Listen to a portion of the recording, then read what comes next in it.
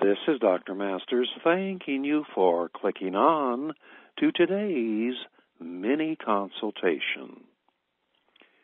In the human experience of all that can be experienced is love.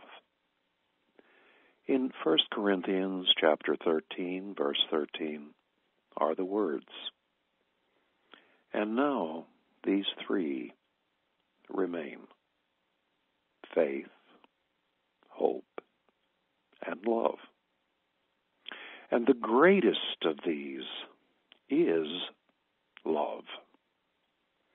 A person might experience all the wealth, power, and knowledge of this world, and without love, experience a famine in their soul, where wealth is replaced with feeling impoverished, power with a sense of helplessness, and knowledge without love, a realization that one has missed the only thing worth knowing.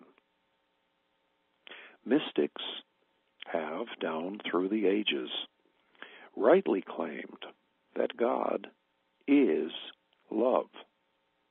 For God's presence, mystically experienced, can only be described as ultimate unity and oneness, which is the absolute presence of experiencing love.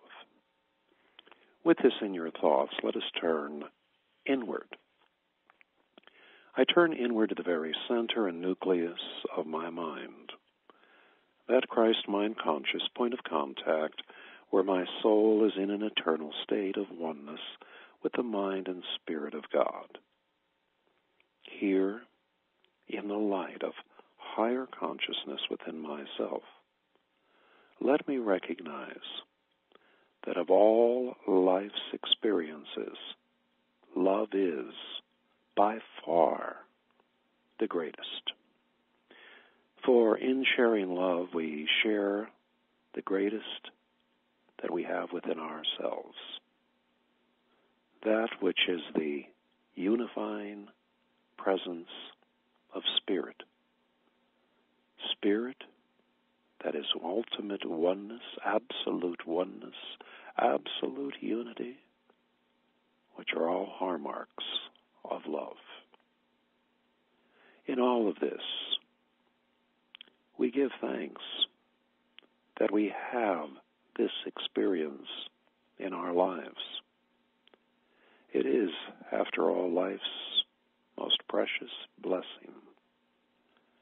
And however we experience it, may we be ever grateful to the eternal which has so gifted us for this realization, this day or any day.